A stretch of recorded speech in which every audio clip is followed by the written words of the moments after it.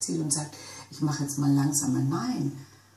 Wenn es mir zu viel wird, dann muss ich wissen, wie, wo ich die Bremse reinhaue. Das stimmt. Mhm. Aber das kann man vielleicht lernen.